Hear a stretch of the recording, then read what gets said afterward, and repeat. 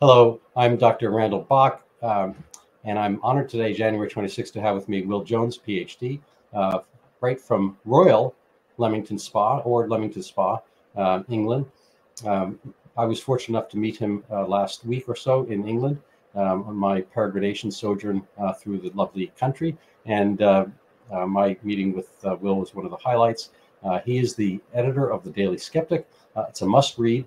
Um, it began as the Lockdown Daily or something like that, and uh, has turned into uh, um, the Daily Sceptic, which I have to say is somewhat eponymous with my own existence. I wake up skeptical, I go to sleep skeptical, so I'm a daily skeptic myself, and I assume Will is as well. Uh, tell us a little about your journey to the Daily Sceptic and, and who and what you are uh, prior and now.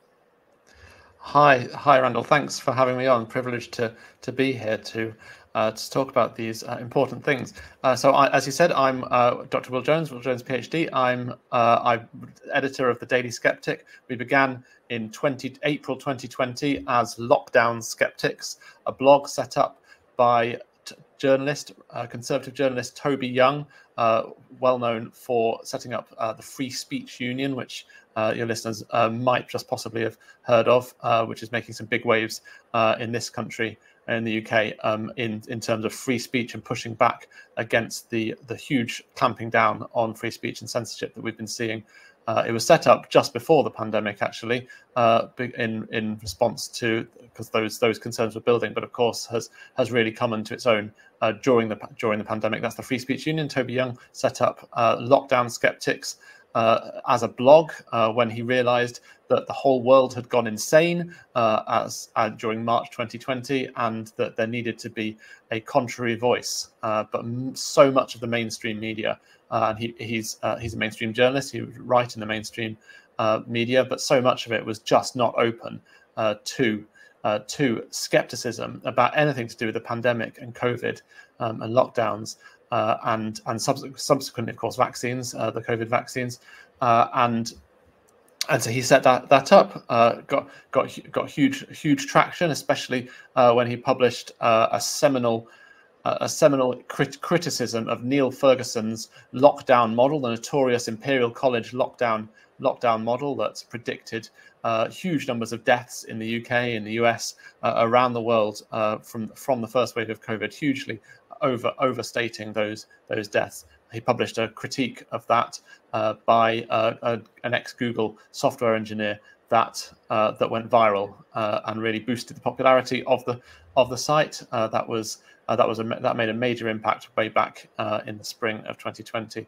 And Lockdown Sceptics developed from there. I came on board as a writer in the autumn of of 2020, and and then started working more and more for it uh, for the site over the course of 2020 2021. It was in due course renamed uh, the Daily Sceptic uh, as as the the lockdowns were gradually uh, released, and there was hope that we were going to go back to normal, uh, or the so-called new normal, if that's uh, if the WEF and and people associated with that have their way.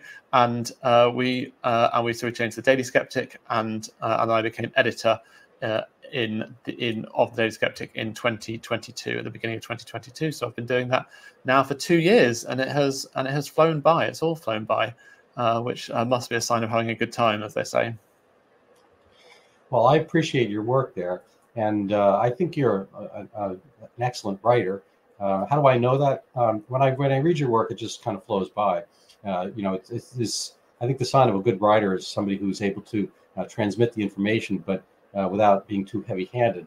Um, I'm not sure I, I quite qualify that uh, in that role myself. I perhaps a little bit dogmatic, um, but you know your your scope is is quite broad. What what are the uh, um, we'll just kind of go over the recent kind of uh, breadth um, and issues that you've been covering. Uh, I, I, can post some of them, but uh, what's what's top of mind for the Daily Sceptic in the last say month or so? Oh, in the last month, well, we've been uh, so since uh, so so we were focused very initially, of course, on uh, on lockdowns and and all the extreme response there. That's way back, uh, and uh, and then we moved into uh, obviously that continued.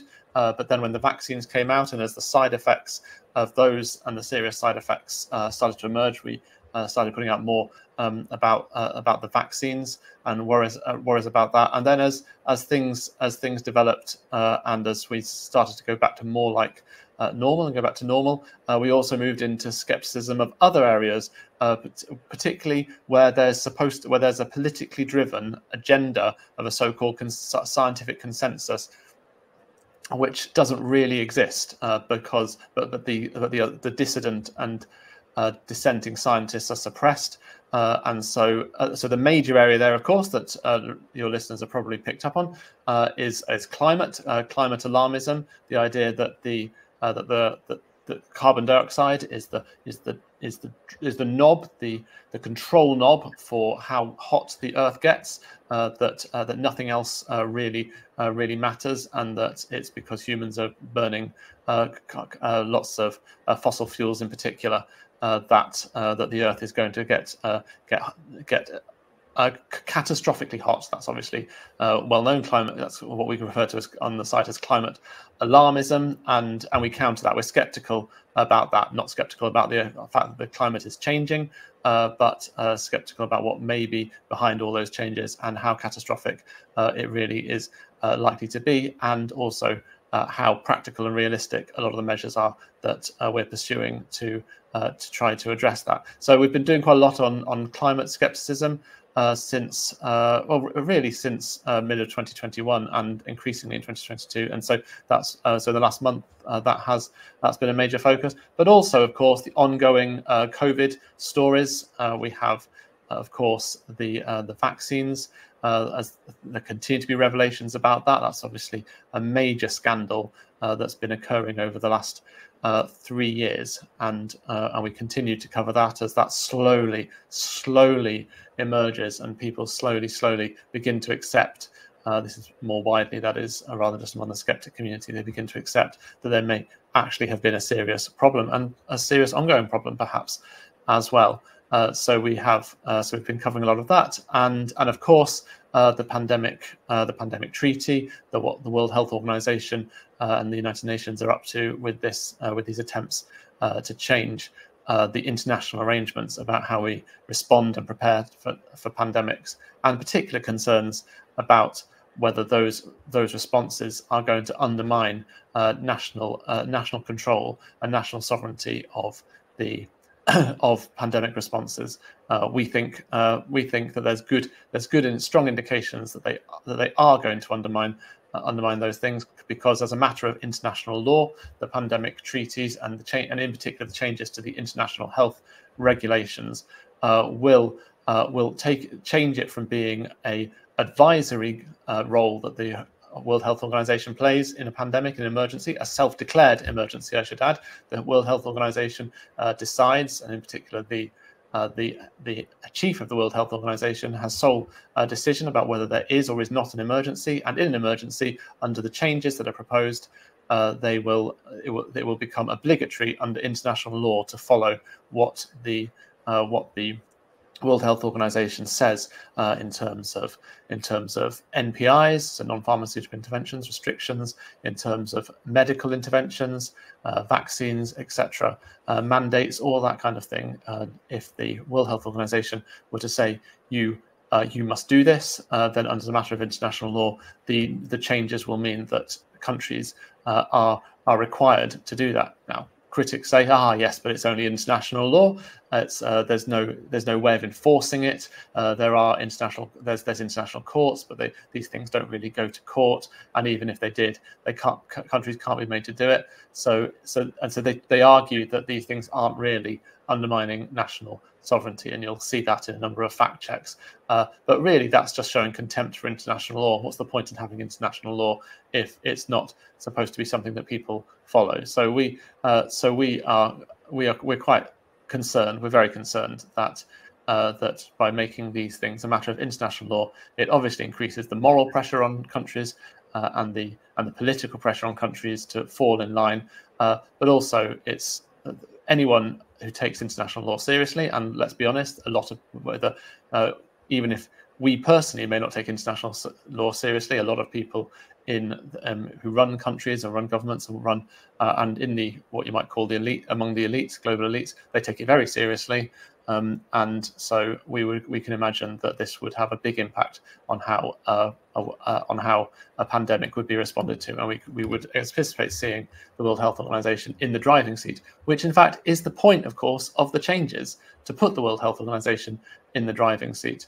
Uh, and uh, I'm sure your listeners, I'm, I'm, sure your listeners don't need to be uh, to have explained why it would be a problem to have a one person in the world, the chief of the World Health Organization, uh, is solely responsible for determining and dictating what uh, yeah. what, what countries, especially especially when when the track record, uh, the history um, is, is is less than stellar.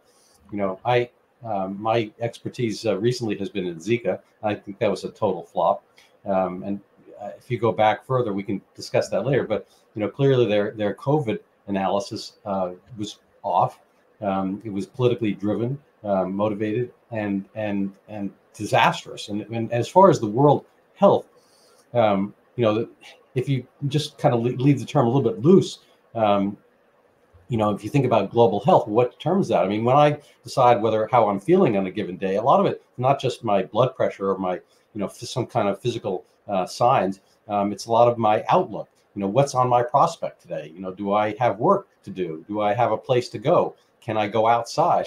You know, mm-hmm. a lot of what what um, you know the World Health Organization perhaps focused on was a safetyistic or safetyism approach, which was uh, you know myopic um, and and and laser focused on this one aspect of uh, you know a viral test, um, which may or may not be pathognomonic of any particular disease, and you know in the wrong um, um, you know cohort, you know young people and whatnot showing positive for a COVID test, you know their lives have to change, have to be locked down, whatnot, whether it's you know indicative of their own physical health or not. So they're they're you know the, the, and and I guess I one of these discourses I apologize for, but you know it, there I think there's a tendency um, we've seen in the United States, uh, for instance, um, of, of legislators um, kind of acquiescing and shedding their responsibilities to bureau- bureaucracies. Um, so there's a, a, law here. I'm not going to get too far into it because it's, it's under the rubric Chevron, the, the oil company, um, which which has been a, a, a, little bit of a wedge issue about how much the bureaucratic state should be doing, making their own laws. They make the, the Environmental Protection Agency here which makes its own laws about rivers and what. And, and then it t- winds up being, you know, what size toilet you have to have and things you have to do in your house. And the, the legislators like, oh, that's not us, that's the EPA. And it seems to me that it's a, a very easy way for the legislators not to ha- take responsibility either way. It's like that wasn't me. That was that was you know you're that was somebody else doing it. That's the WHO in this case.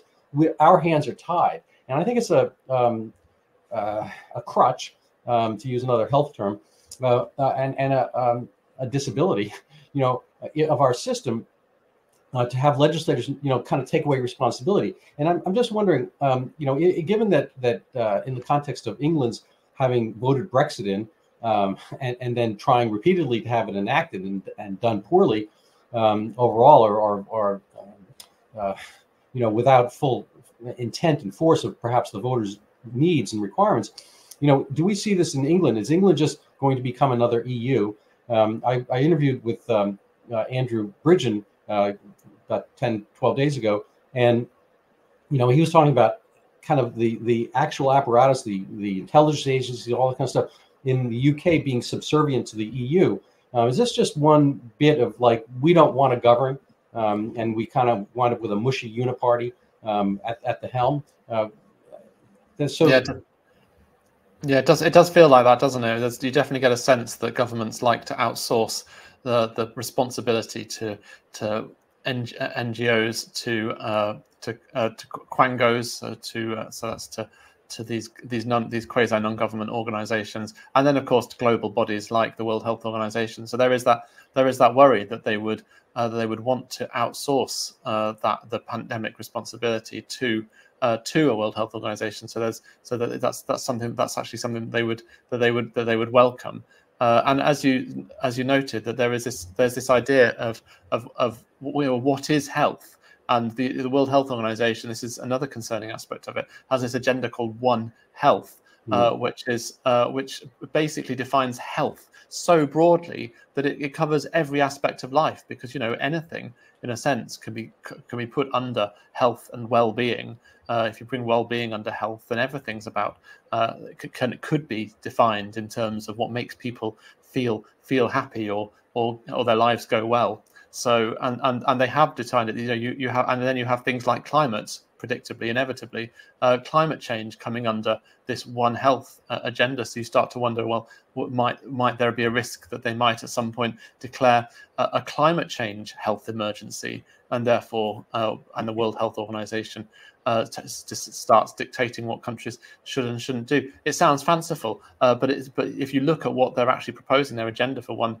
One Health, you can see that it does actually include include those climate uh, those climate aspects, and and not just that. You know, it's it's just it makes their agenda so broad. You just think, well, what what's left to politics if we if they're putting everything under health, and then and then having this this this treaty that makes us uh, subservient to uh, the director general's uh, decisions uh, whenever there's a, a, a an emergency that the that the director general declares. And it, it's worth mentioning actually uh, that the uh, that there was the monkeypox uh, uh, so-called emergency. You know, monkeypox hardly did anything. Hardly anyone was infected. Hardly hardly anyone uh, died. It was it was it was largely a non-event, and yet the world the director general asked his asked his his committee to decide decide whether it should be classified as an emergency. Now, the, the committee actually, the majority of them anyway, said no, we don't think it is a, a, a global emergency. So you know, there's some there's some wisdom there. They didn't all say that, but most of them did.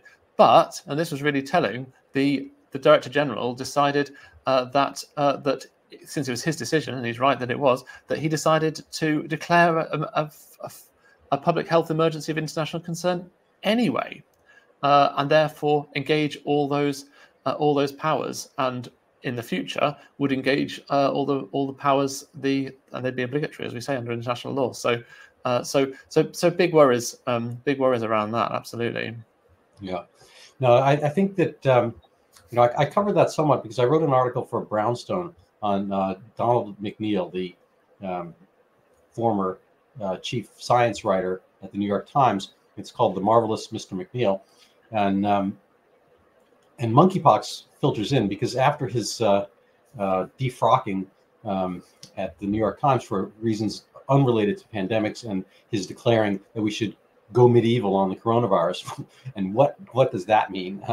and and maybe we did. Um, uh, he became I hate to use this word, but but let's try it out a shill for uh, monkeypox, and he he took his Substack, and he's still you know rather influential. He's, he's an excellent writer, um, and otherwise a smart guy, perhaps taken away by safetyism.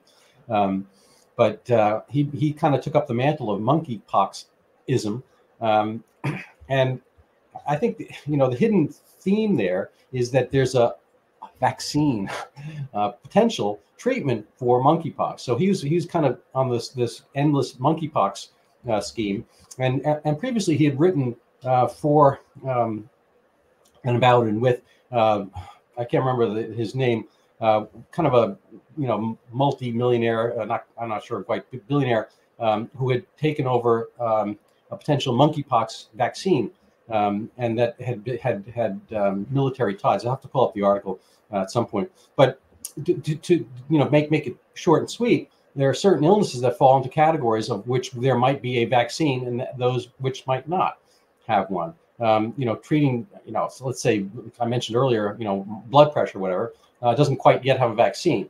Uh, that's not on the forefront. HIV uh, um, could have, maybe, should have possibly had a vaccine, but we haven't been able to do that because it's kind of an immune system itself. Uh, that's that's kind of on the back burner. Um, I would I would venture to say that HIV continues uh, to cause much more of a public health threat ever than than COVID did. Certainly more than monkeypox. Certainly more than Zika.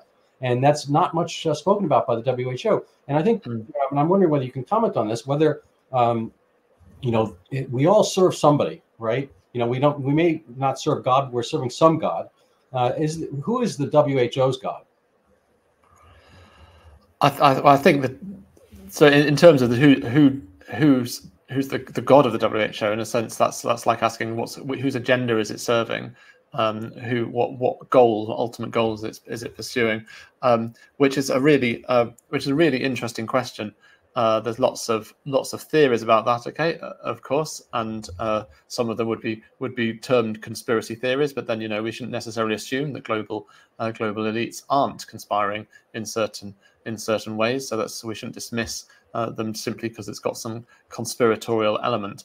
Uh, I think um, I think profit is a major is a major motive. There's uh, rich people who like to get richer. There's people who who want to who want to get rich off this. There's uh, major companies, pharmaceutical companies, uh, who are always on the lookout uh, for how they can maximize their profits. Um, and I think that that's that that definitely that definitely plays a role.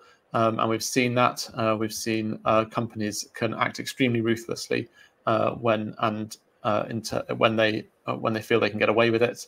Uh, in terms of uh, the, the way they make medicines, the way they go about uh, trying to make trying to make medicines, uh, and the way they hide and cover up uh, the uh, the harmful effects of those of those medicines and and cover up the lack of efficacy as well. So so there's definitely a profit motive. Um, I think I would say that there is um, that there's there's there's quite a there's quite a kind of messianic kind of save the world motive as well going on. I think that some of these people, I think I, I, I, do get criticized for this because people think I'm I'm not cynical enough, uh, but I do think that a, a, lot of these people who are involved, or a number of them, uh, really do uh, think uh, do think that they're trying to save the world, mm-hmm. Uh, and they and they think that the, the, ends justify the means, and that they are um, and that so that they are trying to these grand agendas of trying to get a vaccine to to to eradicate certain diseases uh, they and so they believe. So you've got Bill Gates, for example, uh, who I'm sure is trying to make money, although he's already got a lot. But you know, some, some money is never a lot of money is never enough for, for some people. But I think um, I do think that he is uh, he has got this this idea that with all his money, he should try to he should try to make the world a better place. And the way the way, way he's trying to make the world a better place is by curing diseases, by finding and funding those medicines um, and vaccines uh, that will do it. So there is this, and so there is this idea, and so of course that ties in very nicely with the with the profits uh, of with the profit motive of the pharmaceutical companies, uh, and so you have this. Uh, you have this this this big agenda, and especially when, as you as you noted, uh, Randall, that there's when there are these diseases that, in particular, are susceptible or appear to be susceptible to a vaccine solution, then there's there's a lot of interest in those because there's there's this whole global uh, effort and agenda to find and create vaccines, and in particular, before the pandemic, there was this big push to try to use genetic-based vaccines, mRNA in particular, uh, and other genetic-based uh, vaccines, uh, and to try to use those as a way of producing uh, vaccines on a platform uh, this idea of mRNA being a platform that mm-hmm. could produce vaccines uh, quickly uh, and and easily, and possibly be able to, because it's the same platform, therefore sc- speed up the process of the of testing them. Because supposedly they will, if they've tested the platform for safety, then they think that they will have therefore be able to bypass a lot of the the tests for future uh, iterations of that of that same platform. So these ideas were all there before the pandemic, very influential ideas, and the pandemic was an absolutely huge golden opportunity for these people, the the vaccine sa- savior narrative and the pharmaceutical companies uh, to advance that uh, to get that technology, which has been struggling. They haven't managed to get a single mRNA product uh, approved uh, before the pandemic. Uh, it was really struggling to get through because of safety problems, largely and uh, and this was a golden, huge opportunity that they grabbed with both hands, uh, and the regulators as well, who are keen to do it as well, uh, uh to uh, to get this technology uh, to get this technology through, yeah. which is which is what they, which is what they've done, and now they intend to build build on that, as we can see, and they're trying to, and they're using the the the so-called success of the mRNA vaccines to uh, to, to, really try to push more uh, similar uh, technologies. And we keep reading about that all the time. Yeah. No, I, I think you, uh, you're onto something there. And, you know, my uh, peregrinations through the Zika world, researching my, my book, Overturning Zika, um, I actually began on that book um, before COVID was a thing, before SARS-CoV-2 had uh, uh, become a um, household word, and uh, you know, COVID and, and, and, and, pandemic and all that kind of stuff. And and unfortunately, before I mean, after the after the book was published, I, I uh, came upon this article, which I think is a little bit of a smoking gun. Let me see if I can put it up for us. Um, but it, it, it, brings up, you know, kind of three, four key things together. Um, but Bill and Melinda Gates are are placing bets on this biotech in the race to develop a Zika vaccine. So I came upon this later when I was researching Zika, and um, I'm going to try to make this a little bit larger for us. Um, uh, Moderna Therapeutics, um, blah blah blah. Uh, U.S. Um, you know, Human uh, Health and Human Services is going to put 125 million dollars. The Gates Foundation has pledged to give Moderna uh, up to 100 million dollars to develop mRNA-based vaccines for infectious diseases.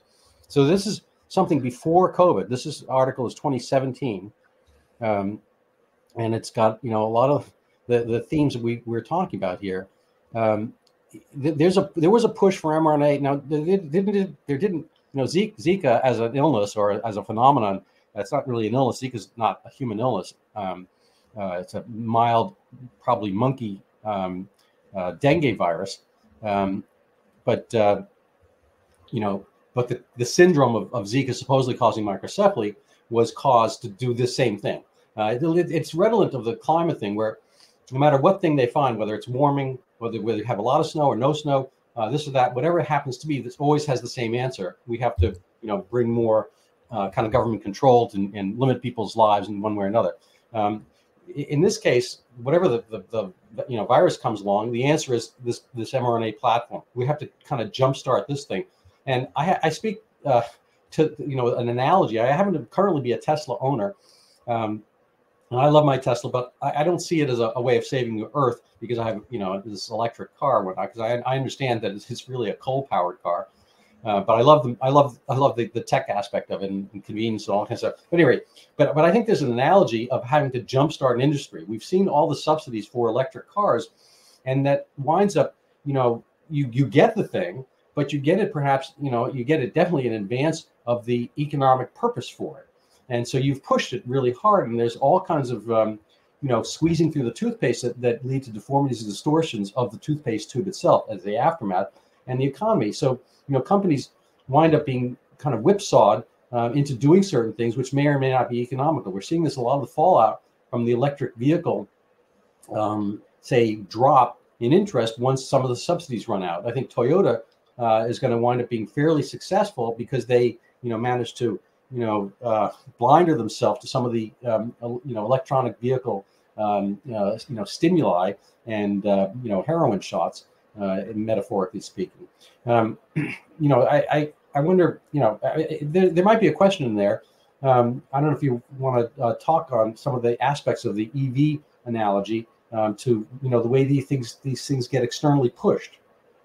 Mm, yeah, yeah, that's, that's it's a it's a good analogy. Yeah, you've got the these these technologies that aren't that aren't really aren't really ready, um, and they've got they've got problems. We keep seeing uh, the I mean, record two hundred percent growth in deaths from uh, electric bike fires in uh, in New York. Uh, it was reported this week, uh, and three three electric London buses which spontaneously burst into flames uh, just this month and in yeah in one city in London. So uh, so this is an indication of of a technology that. Um, you know, it's, it's that's just one of there's, there's a number of issues with the technology. I mean, the technology, as you say, there's some really good things about the technology. Um, the cars they actually produce uh, can be uh, have much, much well, uh, typically much much higher performance than than the, the petrol based and uh, diesel based uh, versions. So you know, I'm not I'm not down on the technology as such, but is it is is it the is it the answer? Is it the solution?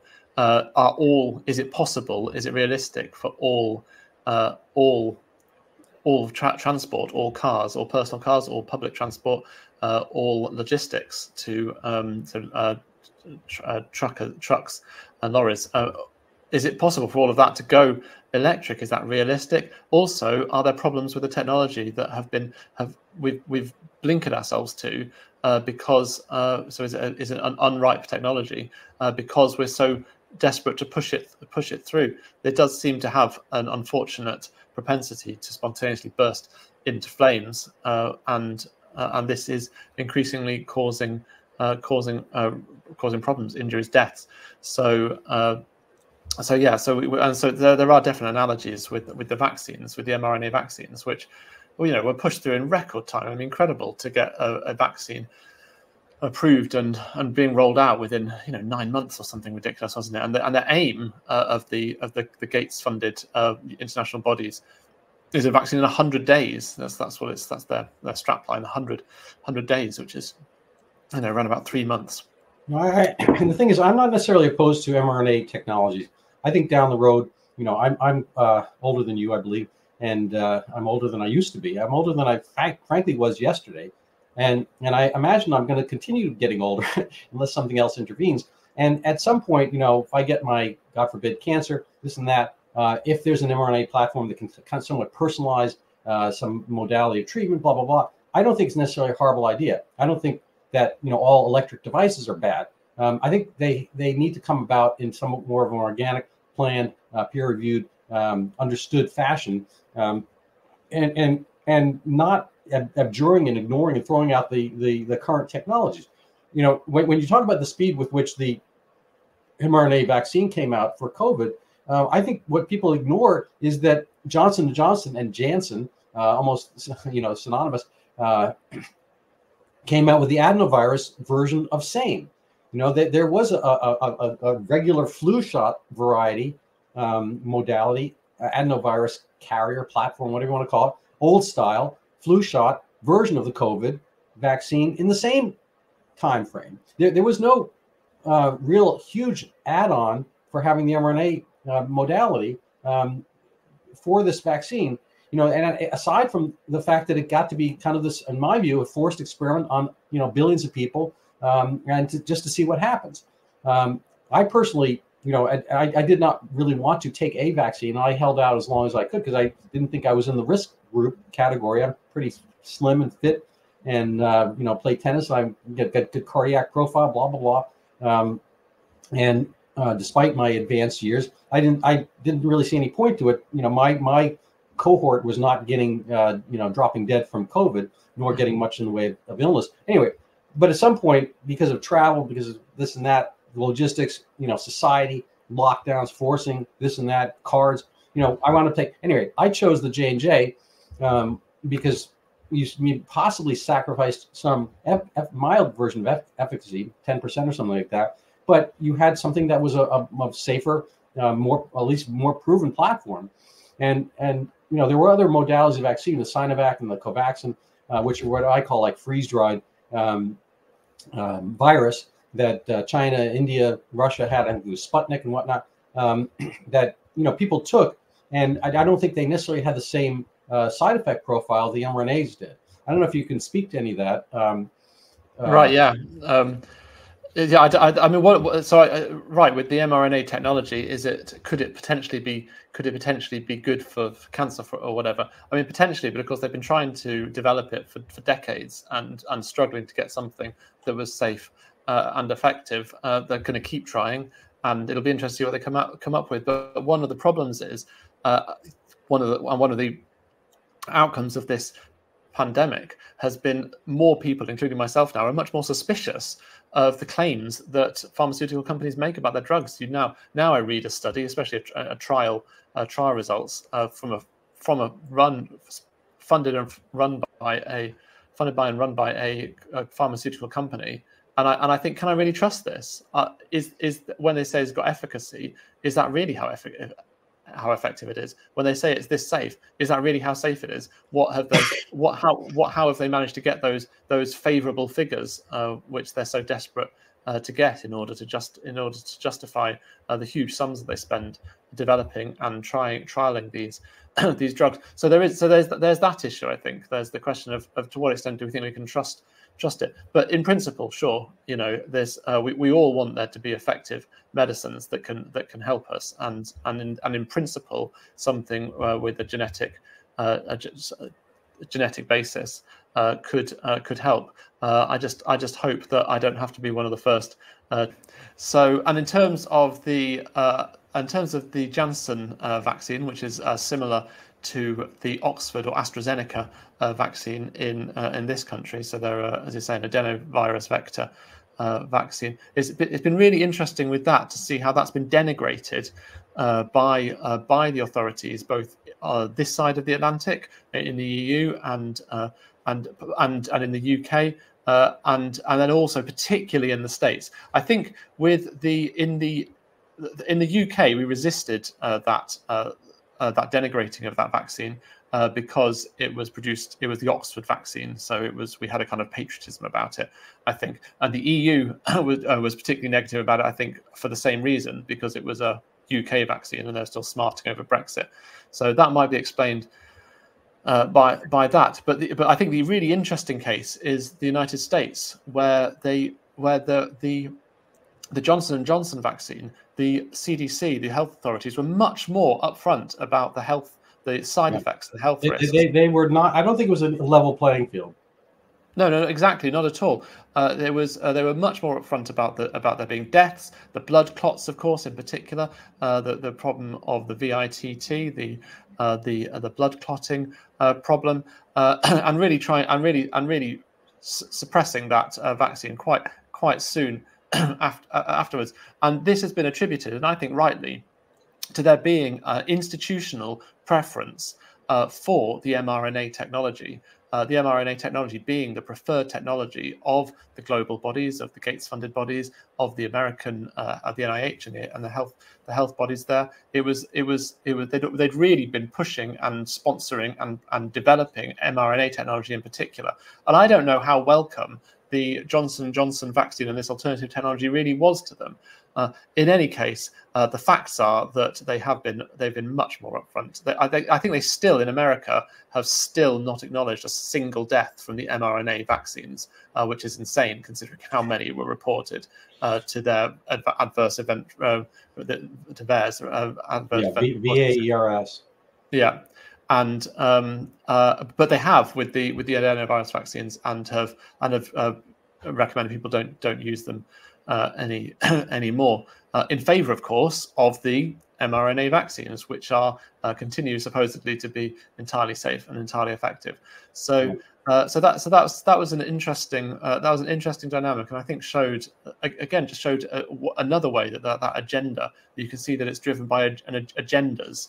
Uh, of the of what we you know we call the, the elites, which is just a shorthand yeah. for the people with so the power and the money. I think, I think you and I can possibly agree that uh, Andrew Bridgen, uh, I'm not sure particularly his his background, but uh, he he's probably not of the elite uh, these days. He's been uh, expelled from the Conservative Party, uh, so he's a he's a party of one.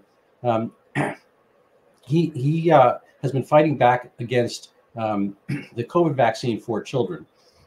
Has he been successful? Is there kind of popular pushback against um, this kind of meretricious, uh, you know, overplay of their hand. Uh, what do you think about um, uh, vaccines for this COVID vaccine for children?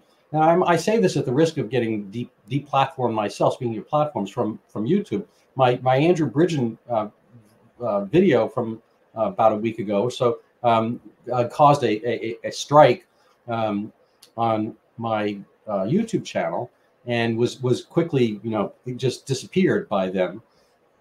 Um, I, I, I, just as a slight, slight preface, I had uh, Retsef uh, Levi, a professor at MIT, on my show almost a year ago today, and his uh, you know ground you know I, I it's not it wasn't a revolutionary claim. He was pointing out that that children never really got sick from COVID. Um, that whatever whatever risk there happens to be, and he's not claiming any particular one, but but, but there's some risk with anything um, uh, whatever risk there was from the vaccine was greater than the risk from the illness itself for children, and children should not get the COVID vaccine. That that destroyed my erstwhile YouTube channel entire. So I had, a, you know, I'm not sure how many thousands of subscribers I had, but that just disappeared. I have not been able to recreate that one. Um, mm, yeah, that yeah. But, you, is is that going on in England? Was was uh, you know was uh, MP Bridgen's um, effort successful? Uh, what, what, are what are attitudes towards these repeated uh, COVID vaccines? Is it going to be placed on the, the general ledger um, for children, you know, five, ten years from now that they have to get a COVID vaccine? Uh, is it happening in the EU? Is it happening um, in the UK? Is it happening? Oh, right. Yeah, yeah, because in in the states, the um, it's it's on the childhood schedule, isn't it? Is that right? I believe. Yeah, incredible. Yeah, no, that that that kind of thing hasn't really hasn't really happened so much here. The, the they've, they've backed off. We're not quite so vaccine fanatical, our, our health authorities here. I mean, we are a bit, but but I think not not so much, not like the CDC and the um, the federal authorities in America, which seem to be completely captured by the vaccine, um, the vaccine agenda and industry. Um, so um, I, I, don't so I, I, don't believe that that children's vaccine, COVID vaccines for children are um, uh, are recommended uh, and certainly not not mandated for uh, for children. The, the, the, vaccines for children are very controversial here. The the JCVI, which was the uh, the the official advisory body for the government on whether the vaccines were safe, specifically uh, when when asked uh, back in 2021, refused to endorse the vaccines for children. They were not convinced by them, and very controversially, the government and the, the government's chief medical officer overruled uh, their advisory body in order to authorize uh, the, the, the, vaccines for children. So they were allowed to have them. Uh, but it was uh, it was it was very controversial uh, here, and, uh, and and really vaccines for children had a very low take up and didn't and didn't really COVID vaccines didn't really didn't really take off. Um, All right, so I, actually I'm going to um, segue to make the best use of our time because I I have a couple other looming questions for uh, Will Jones, PhD, uh, Daily Sceptic editor. Uh, you you've been uh, very um, uh, knowledgeable and authoritative about some of the lab leak um, foundations. Uh, I, am wondering if you would care to discuss um, some aspects of that, and um, and potentially also we could possibly segue into the the question amongst some of the skeptics of whether there was a pandemic. You know, I, I we have to kind of categorize what that question means. But um, perhaps you can take us into the world of, of Wuhan, EcoHealth, uh, Ralph Baric, uh, Zheng, Zheng Li Ji, Shi, um, and so forth. Yeah, yeah, that, yeah, that'd be good. Um, I, I, just want to say on the last topic before we move on, just to answer your question, that Andrew Bridgen, I think, uh, has been very much shunned, but has increasingly been gaining traction. His he keeps having debates in Parliament, and uh, the debate, I think it was last week, uh, was the best attended so far with MPs and peers. Um, so it, it, the, the, the, he is having some success and getting getting more traction than than he had before, although it's still very very slow going. So I just wanted to say that. Um, uh, so uh, yeah, so, so, good on him for keeping pushing that, uh, keeping pushing that uh, agenda in Parliament. so uh, yeah, lab, lab leak, lab origin. So yeah, there's there's been lots of rev- revelations um, around that recently, hasn't there? We keep hearing, keep having emails uh, coming, being leaked out uh, from the time, keep getting little dribs and drabs. Uh, more the uh, the teams, the guys at Public, uh, mm-hmm. and uh, you know Michael Shellenberger and and the um, and what was the other one? Anyway, the the other the other one associated with that have been have been have been getting some good scoops on that. I think I have to say that it's pretty clear. Oh, it's it's it's, yeah, it's very clear that the virus was engineered. Uh, that more evidence keeps coming out on that. We've had a new. Uh, the first people who saw it, you can actually see the very first people who saw it, uh, who first identified it in China uh, in the last week of 2019. Their first thought was, uh, "Has this come out of a lab?" Um, so it was the very first thought of the very first person who identified it in the last week of China. And then it was the first thought of Robert Redfield, he said, the CDC director, when he first heard about it on the 1st of January. It was the first thought Shi Zhengli said of the world of the WIV. She said that it was her first thought. Did it come out of my lab? And she claims that she went and checked. and she claims that it didn't um, come out of her lab, um, but um, but then she published a paper in mid-January publishing uh, the the RaTG13, the closest uh, the closest sample from her lab, and saying we have the sample. This is the closest sample. It's 96% similar, but this virus did not evolve naturally from this sample uh, and left open uh, the question of where it did uh, come from. so and so it's the first thought, and then we've had and then we've had more revelations on that just in in, rec- in recent weeks.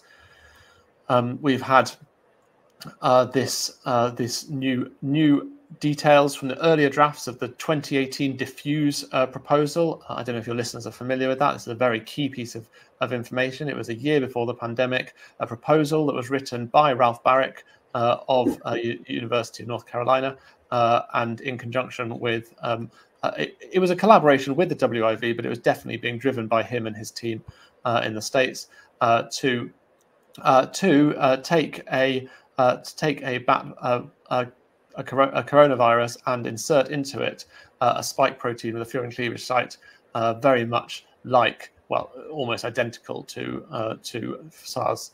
Uh, SARS-CoV-2. So essentially, it was a proposal to create, if you like, SARS SARS-CoV-2. We've known about that for some time, but recent weeks, earlier earlier drafts have come out, some more information about that, and it's become and so that and the underlying structure of the of how they put it together in six pieces.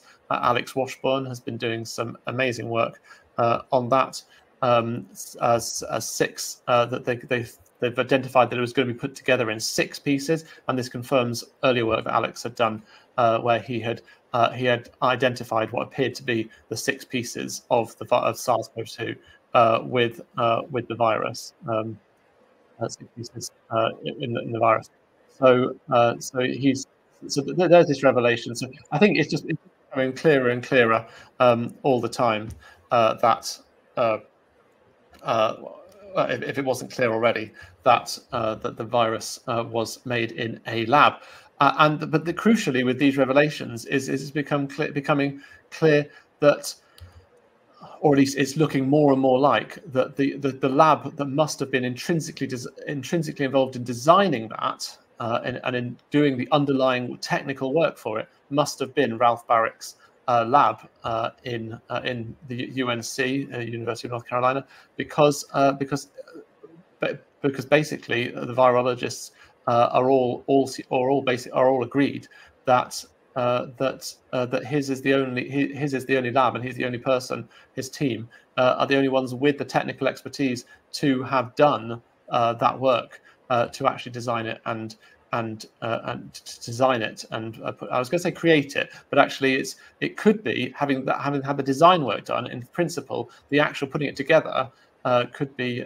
could be done somewhere else.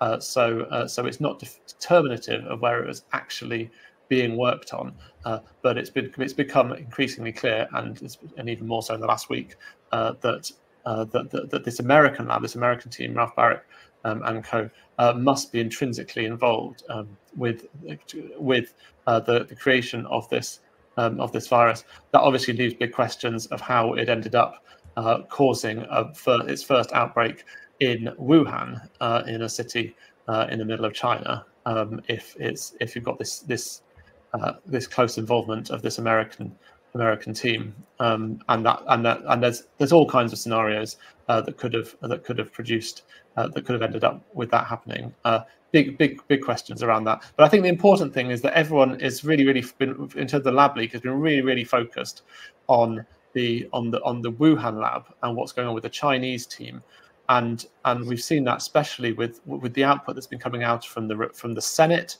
um, and from a guy called Robert Kadlec, uh, who's who's one of the main intelligence linked uh, people who's been really pushing the lab leak uh, theory from early on. He wrote uh, the Muddy Waters report for the for the Senate uh, the Senate committee. Um, uh, which which really pushed the, the lab leak. That was that was um, I think. Uh, so just over a year ago. Uh, so, so really pushing that, and, and, and, all the attention from him and from the Republicans uh, uh and, the, and those in, in, in, the Senate has really been uh, on, on on China, and it's been and it's been part of the of the, the China is evil agenda, which I'm not. I have no no desire or wish to defend China uh, by any means. But, but, the point is that it is tied up with that agenda, and so there hasn't been so much focus on actually what role uh, and people talk about the, the, Americans funding. There's, there's been an emphasis on Fauci funding uh, the, the, the work in, in China and Wuhan, uh, and that is absolutely absolutely true, and that is uh, that needs to be properly uh, examined. Uh, but, but but actually, the role of the of, of, of Ralph Baric and the American scientists and virologists in actually designing and creating the virus um, has been totally neglected. Um, and yet, we know that the uh, that the World Health Organization's own uh, no, not the World Health Organization, the Lancet's commission looking at the origin of the virus, which was uh, which was headed up by um, oh, what's his name? Jeffrey. Can you remember his name? Uh, Jeffrey. uh, name's gone ahead. The Economist. Uh, anyway, he was leading the uh, he was leading the the the Lancet's investigation into it, and he he disbanded the he disbanded his the investigation and and and said that there was no point in doing it because he said that the American the American scientists uh, were not cooperating. He said they were not cooperating with the investigation, uh, and so there was no point in doing it. But he knew they were hiding something. So there so there is something. So we don't know exactly what happened. We don't know how it was created, and we don't know how it ended up in Wuhan. Uh, but it is, it is it is very clear uh, now uh, that we mustn't only be looking at the role of uh, the WIV Wuhan in Wuhan and Shi Zhengli, uh, but we also need to be looking at the role that the um, that the American scientists played as well. Yeah.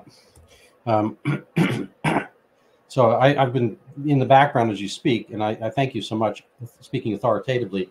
Um, I've had uh, Jim Haslam's article, and I also posted my own from Brownstone. Uh, I, mine is Eco Health Alliance's Wuhan dalliances. Um, and there have been a fair number.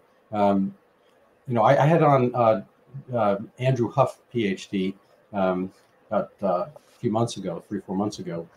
Um, and he worked with Eco Health Alliance uh, back in the day, uh, around 2015 through 17 or so. And, uh, you know, his, his theory is that it was spy versus spy I don't know if you ever saw the uh, uh, uh Pro, Prohías uh, cartoon uh, book by that same name, Spy versus Spy. It's fascinating. He was an ex-Cuban. I wrote for Mad Magazine, so where they published these books. But you know, it's all spy work. You know, the spy, you know, every they, they, they're doing these things, you know, to counter each other, and at the same time, the one acknowledges the other one's countering that. So it's kind of this multi-layered um, jewel box of, of, of, intrigue and and confusion. And so the concept Huff has is that um, Eco Health Alliance was basically a CIA um, cutout that we could watch what's going on in Wuhan. They were going to be doing this stuff anyway, um, and we might as well have uh, feet on the ground, eyes, um, you know, on the prize, so we'll be able to see what they're doing there. Whereas the Chinese uh, essentially knew this, but wanted to co-opt our greater technological sense and sensibilities and abilities um, to to watch Eco Health Alliance and nurture them to do their own you know, bioweapon-ish uh, kind of things. Um, and of course, it's, it's hard to prove that kind of thing, but um, I just put that out there. Um, the, I, I, think that, you know, the, the with Watergate, uh, famously, you know, it was always not the crime, was the cover-up. That was the bad thing. Um, I, I, before we segue to the concept of, of whether there was a pandemic, um, I'm just curious, what, what is the level of the cover-ups being exposed uh, both in the UK, globally, and or the US? Uh, so, so it, so we, we had the cover up. So the most obvious cover up was the the Fauci led, um, and actually Baric and Peter Daszak for the Eco Health Alliance were involved in that as well. At the end of January 2020, beginning of February, that that that famous uh, cover up of the lab origin uh, uh, and pushing, uh, very effective for a year or so, pushing of the of the zoonotic, uh, the the animal, the wet market theory, the animal spillover theory mm-hmm. of the origin. So there was there was a real push uh, to, to do that, and there's and, and there's still people, the Zoonati as we call them, who are who are really pushing, uh, who are really pushing that that attempt to cover to, to, cover it up. But there was a real concerted effort there to cover to cover up uh, the, the, the, the the obvious uh, lab uh, lab origin um, of it. Uh, there's also, I think, there's a cover up of early spread. Um, there's been no, there's been, especially in America, a very, very few studies uh, to look into uh, to what extent SARS-CoV-2 was was circulating um, in the later months of 2019, or even earlier. Um, I don't think it was around very much earlier, but uh, but there's been no, uh, but certainly in the end, in the second half of 2019, uh, no, no wastewater studies. Uh, no, uh, there was one red blood, one Red Cross uh, blood antibody study, but no, no follow up. Uh, nothing looking at bank samples. So, so that, that it does feel like, uh, and that's of course part of the, the that's of course part of the the lockdown, the, the COVID lockdown agenda, uh, where the where if, if the if the if the virus was circulating globally or in the US uh, during the end for months during the over that winter and over that autumn and winter, uh, then the whole idea of locking down to stop it from coming in and that, that whole narrative of oh it's coming over from China we must lock down before it gets here etc uh, is obviously total nonsense. So there is there is a feeling that there's that that that the CDC and the and the authorities in America don't want to know and are suppressing uh, any any attempt to look into uh, early early spread. Um, and and of course, there's there's suppression. There's there's obvious suppression of of problems with the vaccines, and and in particular, um, um, in addition to that, yeah, and as part of that, a a uh, any link they might have with the with the extraordinary levels of excess deaths we've been experiencing since the rollout. Uh, they just won't release they won't release the, the record level data uh, for impartial researchers to have a look uh, to what extent the excess deaths are concentrated in the vaccinated. After several years um, of this happening, so it was two and a half years, I think, into into uh, into seeing these excess deaths, um, these non-COVID excess deaths, and we still have don't have uh, data to be able to properly compare, uh, to, to, be able to look at whether to what extent it's affecting vaccinated more than unvaccinated. So, uh, yeah, so some real, and I'm sure there's more as well, but they're they're pretty obvious uh, areas where there's been been um, this kind of suppression uh, in line with narrative. So, you know, amongst the uh, you know our team, as it were, of lockdown skeptics, uh, there's currently the concept that there was no pandemic. Uh, are you have you followed this particular line of thought? And um, can you tell us what definitionally is, is meant, intended by that crowd?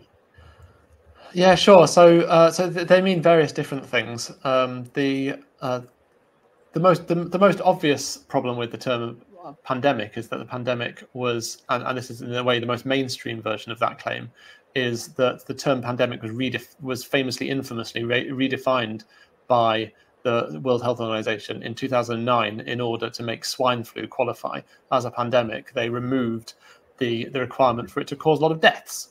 Uh, so a pandemic no longer has to be deadly, uh, which obviously makes a bit of a mockery um, of the whole of the whole idea of pandemic. Because why why do why are we worried about a so-called pandemic if it's not killing anyone? Uh, but that was uh, that was the big that was that was the big change. Then uh, COVID, of course, is claimed to have killed lots of millions of millions of people. Um, so, uh, so, so, so there, so there is a question of to what, what, what counts as a pandemic. I mean, at the moment, a pandemic there's this definition, but it changes. A pandemic is basically whatever the World Health Organization says it is, um, and so I think part of the part of the worry is just this this whole concept of a pandemic, is is is is is, just part of the fear narrative because as soon as you have a pandemic that's precisely when you can justify having ex- having an emergency having extreme measures having mandates uh, coercion uh, restrictions all the all the stuff that we've had they all tied up with this concept that there was this thing called a pandemic uh, rather than just you know a respiratory virus that may be slightly worse than the normal respiratory viruses, but mm-hmm. basically does the same thing uh, that all respiratory viruses do, which is have waves that are largely concentrated in the winter, right? So, um, so I think so. I think they're they're the, they're the they're the most. I think they're probably the most mainstream and and in my view defensible uh, versions of the there was no pandemic uh, pandemic, and to some extent I would sign up to uh, to both of those uh, concerns about the concept of a pandemic. Although I do use the term myself because it's a very handy uh, term for describing what we're what we're talking about um, in terms of, in terms of COVID. Um, but uh, th- there are other there are other stronger versions uh, which I'm more uncomfortable with, uh, which would so there's so obviously at one extreme there's the the virus deniers who think the viruses don't exist, although they're very marginal uh, thank goodness. Uh, but the but the more mainstream version, or it's not really mainstream, but but, but less marginal, I should say, is the um, is the idea that although there was a virus uh, of some kind, uh, it wasn't really novel. Uh, so they're kind of they're pretty they're pretty uh, ambivalent about whether it was an engineered virus with a furin cleavage site that made it more more infectious or more prone to uh, infect more of the more organs of the body, which is uh, which is what is believed to be the case with the furin cleavage site and the um, with SARS-CoV-2. Um, but they, they, they deny. Uh, so this is people uh, uh, like uh, the people from Panda, um, which is an organisation, a skeptical organisation. they, they they tend to deny that there is a novel virus that was unusually deadly uh, there was some kind of virus probably, but what they would say um, is that is that the excess deaths only they, they would claim. I don't think it's entirely. I don't think it's entirely true, but they would claim that excess deaths only started uh, and only occurred where there were restrictions, and that there was and that all the excess deaths uh, were were a were were a result of not of the virus as such, uh, but of the response to it, um, and of the way that people were treated in hospitals and care homes, and the way that, um, and then and then later on of the the vaccines. Uh, so uh, so that's the that's the kind of the so that that that builds on, of course, the the point that these that these interventions uh, were uh, did result in some people dying, that they were they were deadly, uh, and that uh, the treatments of COVID were were were often non-ideal and in some cases very faulty. lots of concern, of course, about ventilators and over ventilation early on. So so we've got all, all those ideas, but building on that and really taking it to quite um, an, ex- to, to, an extreme point, really, um, that which is to to say that actually uh, the, the, virus itself uh, didn't uh, wasn't really responsible for uh, for for more deaths than normal. So that that would be the the, the claim, I think. And uh, the main point that they point to. Uh, the main the main thing they point to to back this up is they say, well, if it was circulating, the virus was circulating since what um, November, at least 2019. It was there November, December, January, February uh, circulating globally. There's, there's quite a bit of evidence of that. Uh, but we didn't see any spikes of death or no excess deaths. Yet it was all the, the, the virus was around. And then all of a sudden, uh, we get to uh, March 2020, uh, everyone locks down and everyone has deaths, uh, excess deaths, big waves of deaths.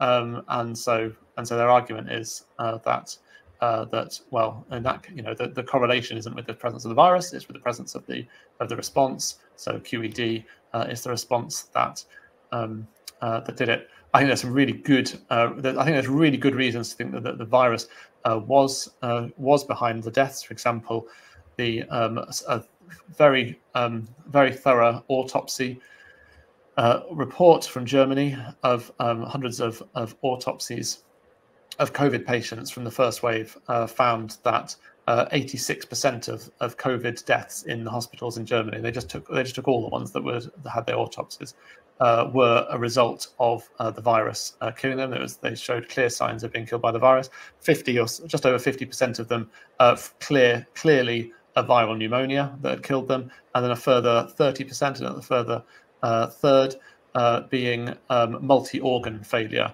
um, subsequent to a viral viral the viral pneumonia and viral virus um, infection, with and then around 14% uh, or was it 16% uh, being um, being misclassified, so not actually a COVID death. Uh, and I, I'm I'm inclined to accept that evidence and the fact that it seems that there really was, for whatever reason, big viral surges in the in the March 2020. You can see that in various in various data. For whatever reason, the virus didn't surge in most places during that winter, even though it was around. It only surged. Maybe it was because they had mutations and new variants that took root. We don't entirely fully understand viruses and why they surge at certain times and and why they become dominant um, at certain times and aren't there and aren't others, even though they're there. So um, so I, I just see that as one of the one of the things that we don't fully understand. But there's clear evidence there were surges of the virus uh, in the March 2020, and then there's clear evidence from things like autopsies uh, that uh, uh that there really was the virus uh, killing uh, most of the people. Um, mm-hmm. That's not obviously to take away from the the fact that, that there were a lot of deaths caused by other other factors and mistreatment. and faulty treatment and all of that and all of that kind of thing. So, so that would that would be, that would be my view and that would be my take on the on the debate really. Yeah, um, there is a um, uh, very long open letter to Will Jones of the Daily Sceptic um, uh, by Jessica Hockett, whom I've had on the, the show. Um, and here it is, very long letter uh, regarding ventilator and iatrogenic deaths in New York City. And she was on with um, Jonathan Engler of the UK. And um, I'm, I'm wondering, did you ever get to see her very long letter? And uh, I maybe your response has already been implicit in what you've said, but do you have anything particular to uh, discuss uh, regarding her letter? Um, yeah, I did, I did. I did read that. Yeah, so it was uh, flattering to get a very long, long letter from Jessica. Uh, I think she was responding to my um, to my article I'd written about. I looked at the data for New York City and found I can't remember the the, the fact these the statistics from my head. Basically, um, uh, the if you looked at the proportion of people who were on a ventilator in in the people the, the proportion of people who died uh, with COVID in New York on a ventilator um, wasn't was was only about a fifth, I believe, of the total number who died. And so my point was that that even if you do, and I do think they did overventilate in in um, overuse ventilators in New York. Um, but but but but even so, even if the ventilators killed every single person uh, who was put on them, and actually it was close to that, it was, it was something like ninety-seven percent. It would still only account for around uh, for a minority. For I think it was, I think it was around a fifth, but I, I haven't looked at that recently um, of um, of the of the COVID deaths in New York, and so it couldn't be. So the ventilators couldn't be the the the the, the, the explanation for why for that for that extraordinary death event in um, in New York. And in fact, a more recent article from Jessica um, and her, her, colleagues on that actually tacitly admitted uh, um, a number of my points, and uh, and they basically said um, actually it doesn't correlate with the interventions either. And they started saying that actually we think there may be something wrong with the data. Uh, was their more recent article um, because because it doesn't make it doesn't make sense. And I, I kind of saw that as tacitly accepting um, perhaps some of the, the, the, points that I've made because they were now saying actually we think there needs to be another explanation. So well, thank you so much. I very much appreciate your time. Um, love to have you back on sometime. I think you're a, a great uh, uh, discourser and uh, knowledge-based uh, uh, source for us, and I appreciate your work. Thank you. It's been a been a pleasure to come on. Thank